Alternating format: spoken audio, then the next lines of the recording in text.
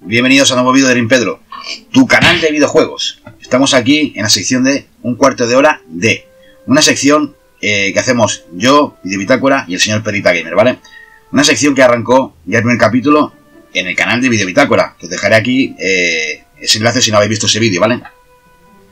Son unos vídeos que durante un cuarto de hora dedicamos un tema que nos parece interesante. Hoy eh, toca mi canal y hablaremos de PlayStation 1, ya que hace 25 años que salió en Japón. 25 añazos. Yo tenía en esa época 15 años, tío. ¿Cómo pasa el tiempo? Bueno, al lío. ¿Qué supuso para mi PlayStation? Para mí supuso esta consola, ¿vale? Esta es la mía de la época todavía, funciona, va de puta madre, tiene su chip, porque no nos engañemos, todos tenéis puestos el chip, ¿a que sí? Bueno, pues esta consola eh, no me la compré de salida, me la compré un año más tarde. Y lo que hice fue comprarla en el Blockbuster. No sé si suena que era una cadena que habían antaño de que alquilaban juegos y películas, ¿vale? Pues eh, ahí compré la consola, ¿vale? Y sin probarla, dos calles más hacia atrás, eh, se la llevé a un informático. Había una tienda informática que te ponían el chip, ¿vale? El famoso chip de Telefónica. Y me dijo el tío que en dos días la fuera a buscar. Aproveché esos dos días y fui a casa de un colega, le llevé un bobinón de CDs, ¿vale? Que gracias a este colega yo me enteré de esta movida. O sea, yo me acuerdo que fui un día a su casa, estaba jugando a la Play 1 y tenía el tío una tarrina llena de CDs y se bajaba los juegos que quería y jugaba. Y dice, pero ¿esto qué es? ¿Qué pasada, tío? Yo también quiero esto. Y entonces es lo que hice, dejé la consola piratear y le llevé a este colega un montón de CDs, ¿vale? Una bobina. Y le, dije, gráme, gráme, este, este este, bueno, un montón de títulos, ¿vale? Pues estaba aquí editando y he pensado, mi colega se descarga el juego, no, no se lo descargaba se los alquilaba y se los copiaba el cabrón. Y bueno, fui a por la consola del rollo y empecé a jugar a Metal Gear. Juego que me dejó flipado. O sea, un juego unas cinemáticas. Es que era una película. Yo venía de, Super Nintendo. Mi último sistema era Super Nintendo. De ahí salté a PlayStation 1. O sea, me dejé un montón de sistemas por el camino. Que a día de hoy pues ya he ido probando y he ido adquiriendo, ¿vale? Pero en aquella época el salto que di fue de Super Nintendo a PlayStation 1. Imaginaos lo que flipaba. Yo flipé. O sea, yo y mi hermana alucinábamos. Esta consola jugamos miles de horas, tío, al Metal Gear.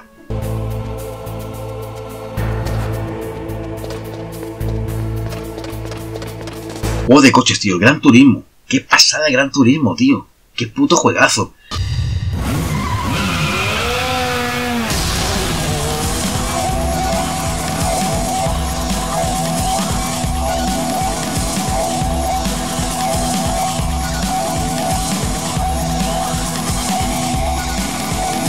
El Colin McRae.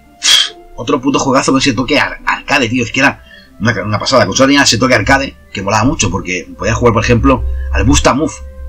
A dobles. Picarte como si fuera una recre, tío. Podía jugar a. No sé qué digo yo. El, Super Punk Collection. El Street Fighter Collection. Buah, Street Fighter Collection. Qué de horas viciando ahí, tío. Un flipe. Juegos como Resident Evil, el 1 y el 2. Madre mía, tío. Ahí jugaba por la noche con tapado con la mantita y oscura. Jugaba. Es que increíble, tío, el giñe que pegaba esos putos juegos, tío.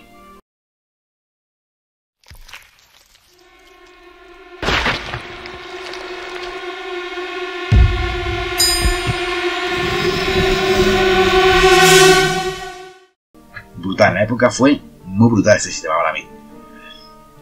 Yo tengo cierto cariño y ya lo veis, aquí la conservo y, a día de hoy un juego porque eh, salió también un catálogo japonés exclusivo, que aquí no llegó, ¿vale? Y gracias al chip que tiene puesto la consola puedo seguir jugando a ella, a estos juegos japoneses, tanto en pirata o, si los compro puedo jugarlos en ella, ¿vale? Y nada, lo que decía, que me voy por las ramas. Un sistema que para viejunos como nosotros, pues nos supone aquí la patata una hostia, ¿no? Seguro que el señor Peri también tiene algo que decirnos. ¿Qué dices, Peri? 25 añitos de esta sabrosura de consola con un plástico más que decente.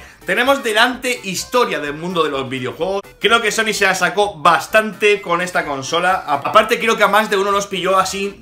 ¿Qué es esto? ¿De dónde ha salido? ¿Qué es este cacharro del infierno que ha sacado Sony?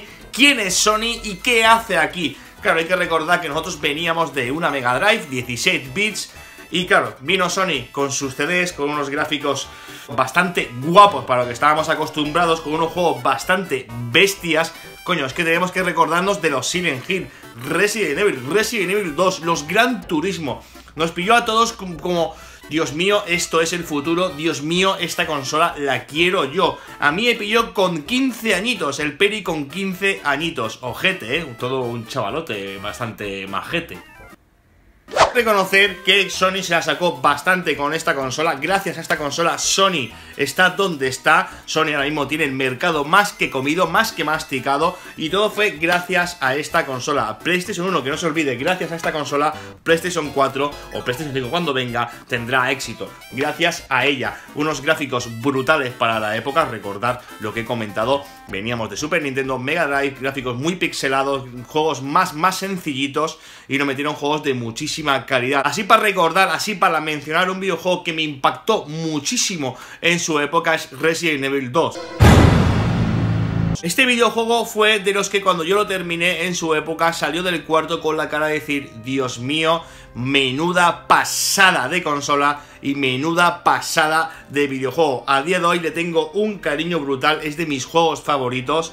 Lo he pasado canutas con este videojuego porque en aquella época daba miedo, es que daba miedo, a día de hoy también, con el remake de la marinera es que era brutal. El sonido, la ambientación, poder llevar el personaje, esos zombies, era brutal. Para mí es un top 1 sin lugar a duda de la consola PlayStation 1. Es un videojuego que se puede encontrar ya sobre los 30-40 euros. No es un precio muy, muy exagerado. Y para una colección o para volver a retomar eh, ese contacto con PlayStation 1 es cojonudo. Las Play 1 se encuentran en cualquier lado a precios muy baratos. Incluso los rastros se pueden encontrar que muchas funcionan pirateadas. Ya sabéis que en aquella época pues el 99% la teníamos pirateada.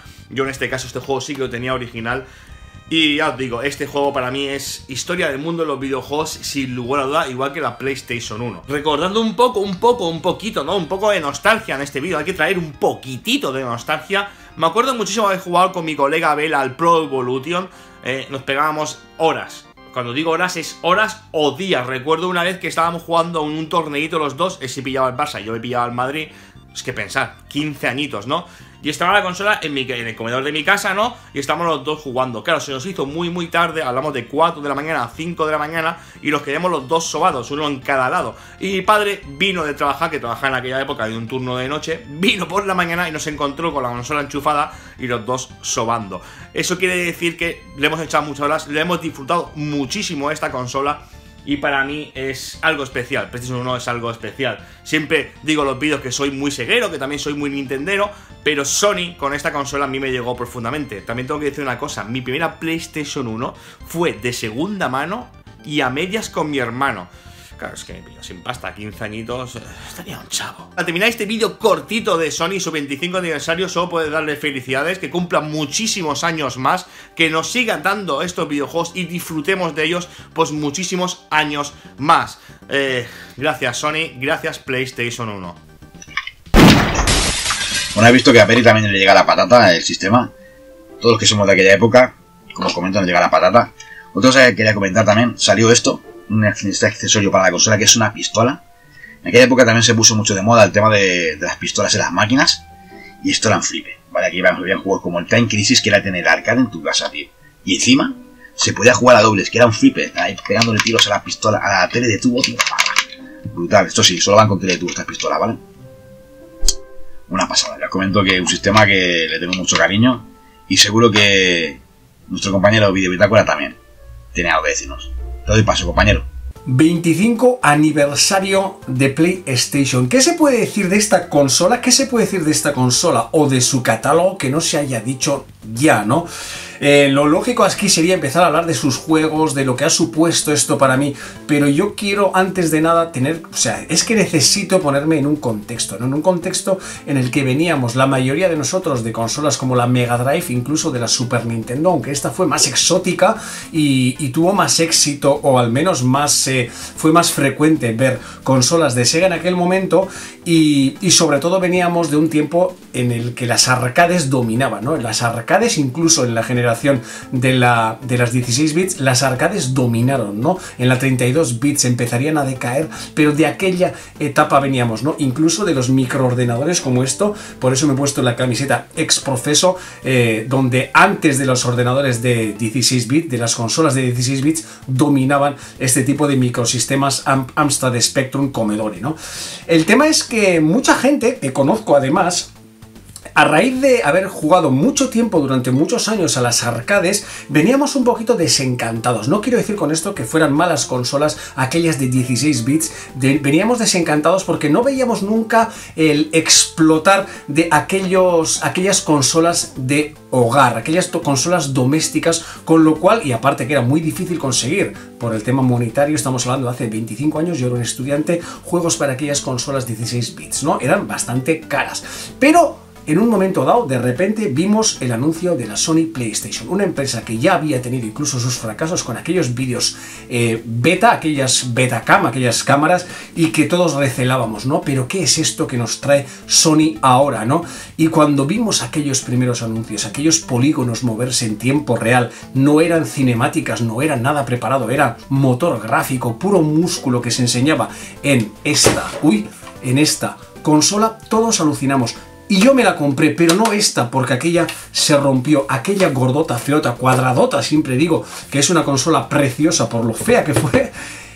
No es esta la que tuve. La que yo tuve se la compré a un profesor de ingenieros de la Escuela de Ingeniería de Bilbao, que se la compró y la usó solamente durante seis meses para mostrar a sus alumnos lo que fue aquello. Seis meses más tarde de comprarla él, la compré yo y los juegos, algunos de los juegos que tuve de salida fueron este Tekken que me lo compré tal cual, nuevito, y sobre todo este Final Fantasy por el revuelo que causó este juego en, en Japón, donde por primera vez yo vi gente haciendo cola y rodeando edificios, aquellas colas, para comprarte este juego. Tanto es así que la revista la tuve, ahora solo me queda esta estas copias que hice en su día eh, donde hablaban de este juego, del bombazo que sería, esto lo comentaban en hobby consolas, ¿no? Así que con un hype por las nubes me acabé comprando, usada eso sí, una consola que, que no esperaba comprármela y la compré usada porque obviamente el precio de esta consola no fue nada barato en su momento y aquello supuso enamorarme de nuevo y lo digo muy en serio de lo que era eh, una nueva manera de jugar, sobre todo además cuando Kojima nos hizo maravillas de estas que en las que inventó un género se empezaron a llamar incluso juegos tipo Metal Gear y nos quedamos todos enamorados, ¿no? Así que en el poco tiempo que tengo para explicaros esto, solamente deciros que fue la PlayStation aquella consola que de la apatía hacia los videojuegos, de aquella apatía renaciente en mí de los videojuegos, volvió a hacerme enamorar y hoy en día es mi consola favorita de sobremesa. Chao, chao. Bueno, como veis, a, los trenos llega el tema de la patata, ¿vale? Y como dice el señor Peri, eh, estas consolas hoy en día están tiradísimas en los rastros en todos lados. Consolas por 2 euros la podéis adquirir y tiene un catálogo enorme. Si no queréis ir a comprar juegos, seguro que viene con un chip puesto y podéis disfrutar de ella sin gastaros un duro, ¿vale? Simplemente comprando CDs y viciando. O sea que un sistema que, como decimos los tres, si no habéis dado caña o no lo conocéis, es el momento de darle caña. También tenéis por ahí esa consola que salió, esa PlayStation Mini, ¿vale? Donde también pues, se puede meter juego y hacer muchas cosas. En fin, que el que no juega este sistema porque no quiere. Y este es el vídeo que le hemos dedicado a PlayStation, ¿vale? No os parece el siguiente que será en el canal del señor Perita Game, ¿vale? Un saludo a todos y como siempre os digo, viciar a saco. Chao. Suscríbete, vicioso.